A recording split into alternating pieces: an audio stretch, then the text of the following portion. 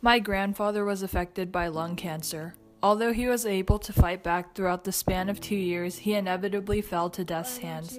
He was a strong person, always smiling before chemotherapy to make sure we weren't worried, but in the end, he couldn't make it through. I run for my grandfather. On the very same day I was born, my aunt was sent to the hospital and they found out that she had stage 4 breast cancer, so I run for my aunt. This past September, my uncle died of terminal brain cancer after a three year struggle of surgeries and chemotherapy. Though it's been tough on us all, he was always a caring, thoughtful, and kind man, so this Ridge Run, I run for him. Hi, my is Ryan. My name is Bemi Sheva. My name is Christina Sugg. My name is Gabe Scott. Hi, my name is Alyssa Featherston. Hey guys, I'm Maida Manigarli. My name is Sean. Hey guys, my name is Oliver, and cancer has affected my life in a bunch of ways. My grandparents on my father's side both died due to cancer, and my cousin at two months old had cancer. Her name was Caroline, and thankfully she made it through, and now she's alive and healthy, so I run for my family. I run for my uncle because I saw how much how, how much stress my mom had to go through financially and emotionally because he was diagnosed with stomach cancer. I think that we should raise cancer awareness. I am going to run this year for my uncle who passed from brain cancer this past year. He passed two weeks ago. I personally have been affected by cancer. Um, my family friend has passed away leaving behind a four-year-old and two sets of twins which are two years old.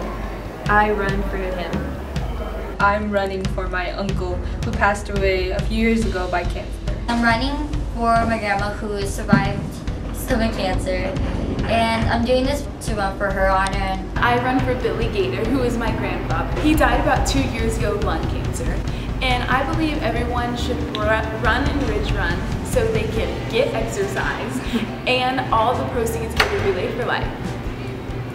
I want to be running for my two grandfathers. They passed away when I was eight, and I think the least we can do to show we care for this problem is go out and run. And I think it won't be too much time out of our day, and uh, it's something we can all do. It's really fun, and it's really great, and I'm actually going to be volunteering, and I hope you guys either come to run or volunteer. It's going to be great. I'm running for the hope to fight cancer in America. Go to Ridge Run, October 29th. Millions of people have been affected by cancer around the world, and Ridge Run is an amazing way to support those who have been mourning the loss of a cancer patient. In 2014, 15,780 children were diagnosed with cancer and 1,960 died of the disease. This year, over 1.6 million new cases of cancer will be diagnosed in the United States alone, and 595,690 people will die from the disease.